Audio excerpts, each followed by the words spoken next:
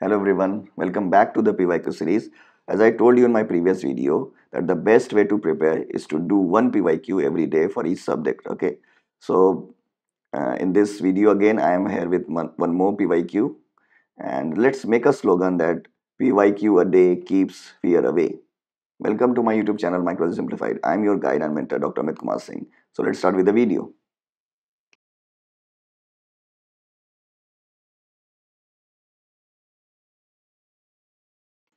So today's topic for discussion is also bacterial meningitis. Another question on another bacteria, PYQ number 2. Okay, so let's see the question.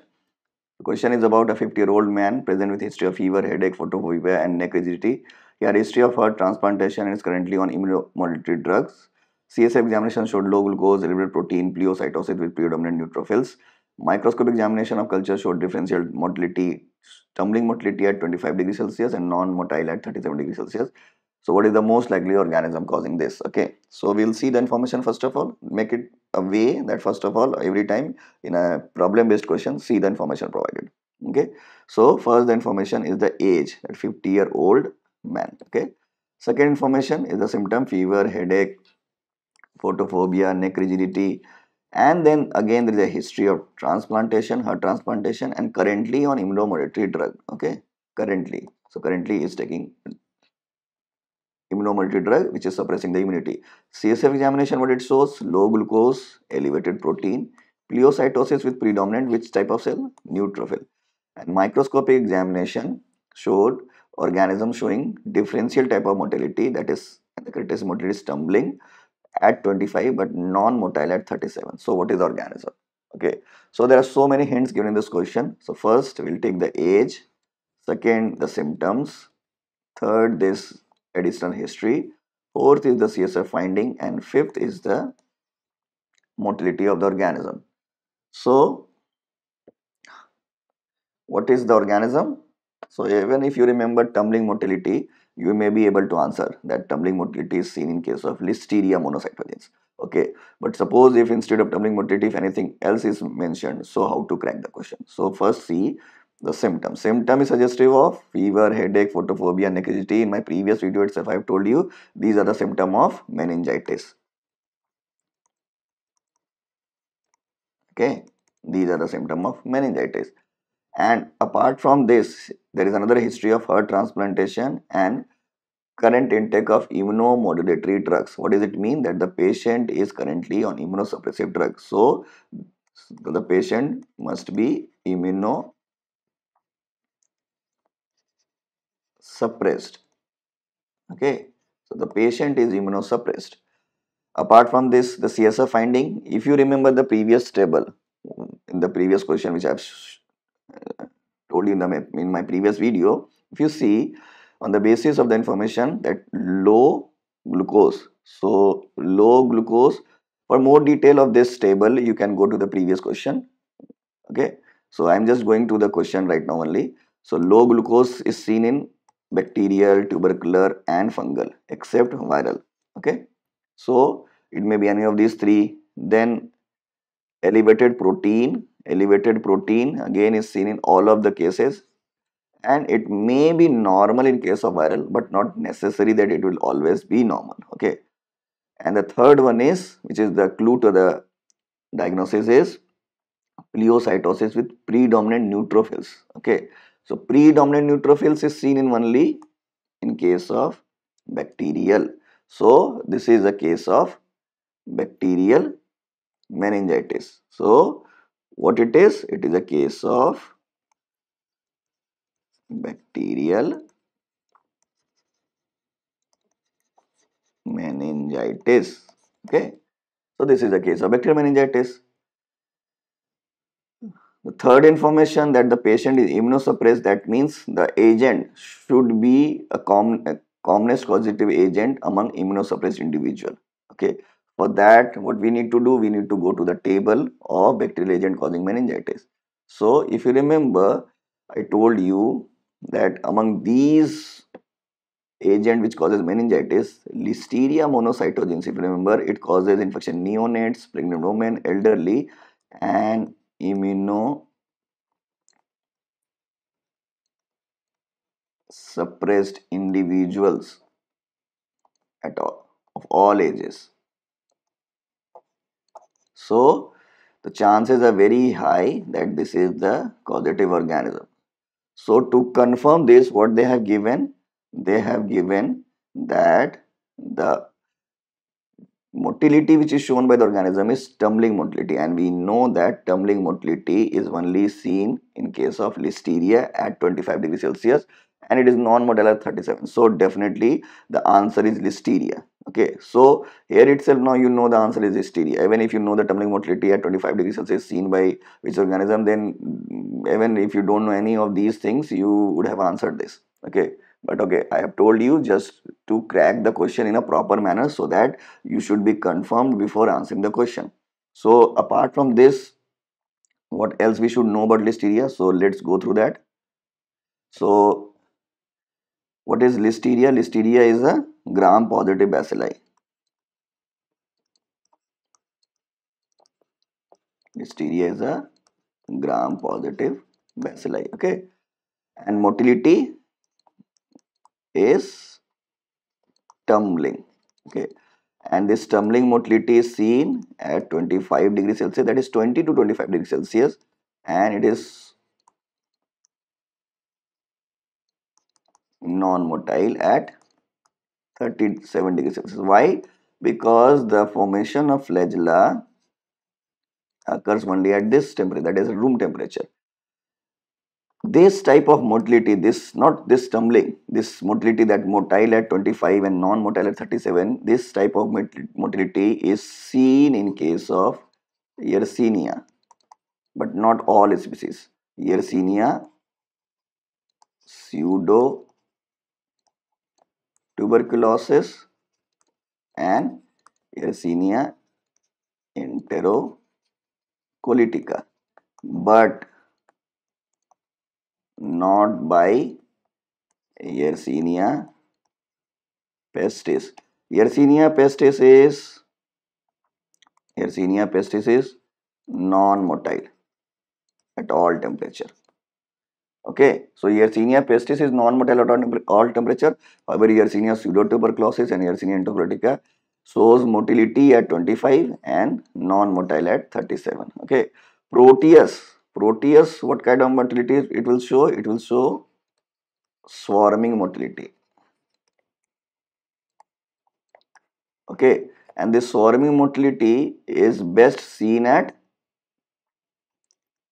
25 to 30 degrees Celsius. Okay, but can also be seen at 37, but best seen at 25 to 37 degrees, 30 degrees Celsius. Okay. Other key points which we should know about listeria is about the growth. So growth is best at 30 to 37 degrees Celsius, but but the important point to remember it can grow at even at 4 degrees Celsius. So what does this mean? It survive, it can survive refrigeration. So even if it is refrigerated, it can grow and also it can grow under certain conditions such as low pH and high salt concentration okay it can also grow at low pH and high salt concentration okay and the spread of infection to the surrounding tissue. Suppose if any one cell is infected by listeria, so how the infection is spread to the surrounding tissue, there is another mechanism which is called as host cell actin polymerization.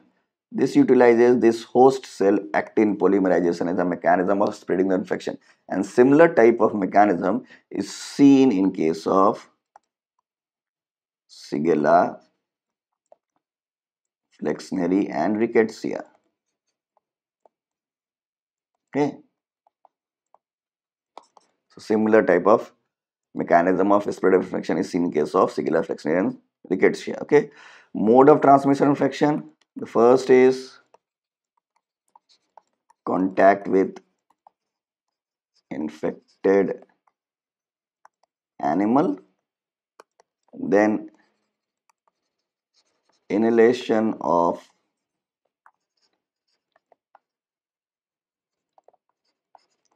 contaminated dust okay?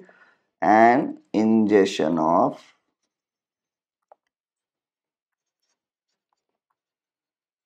contaminated milk and food okay?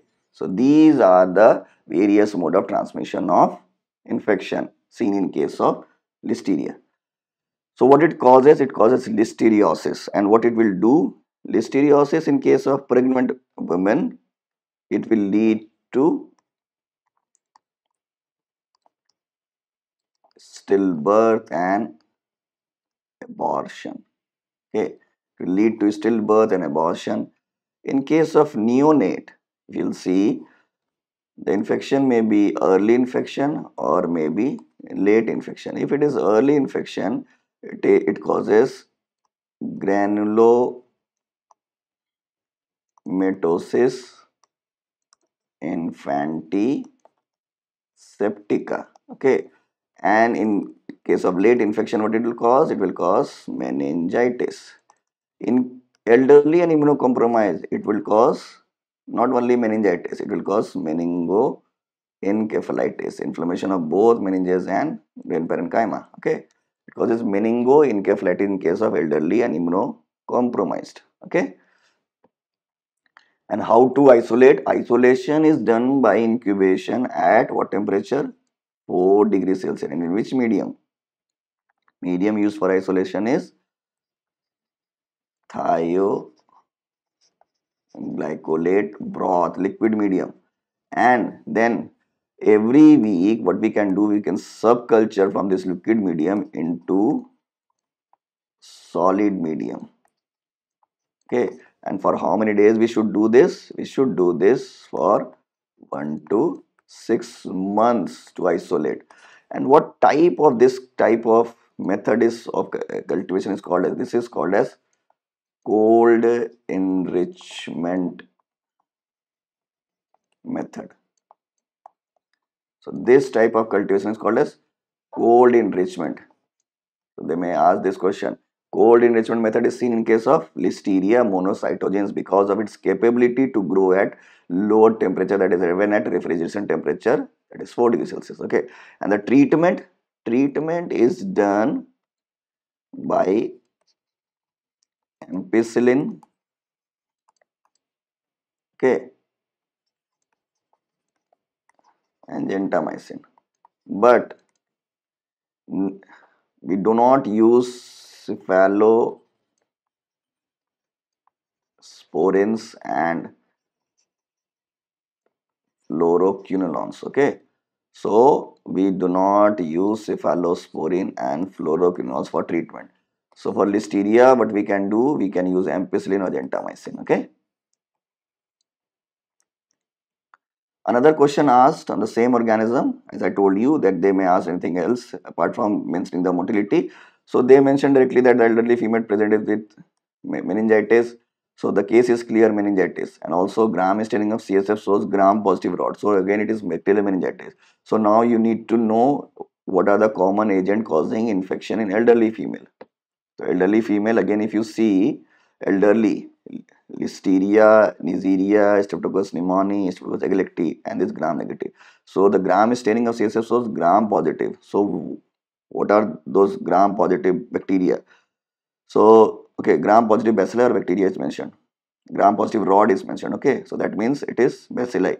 So this Neisseria is gram negative cocci this pneumococcus is gram positive cocci. This is again gram positive cocci and these are all gram negative bacilli.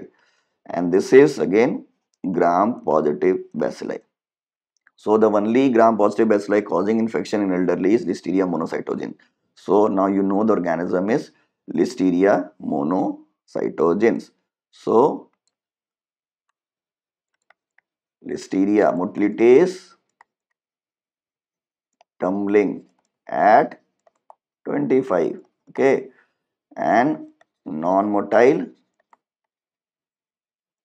at 37 degrees Celsius. I told you 20 to 25 that's why you see here in they mentioned 22.